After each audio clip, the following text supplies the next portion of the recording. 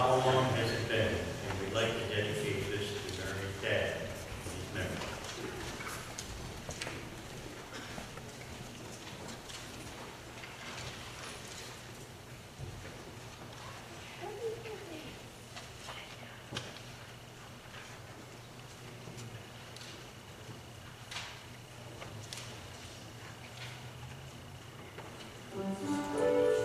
Thank mm -hmm. you.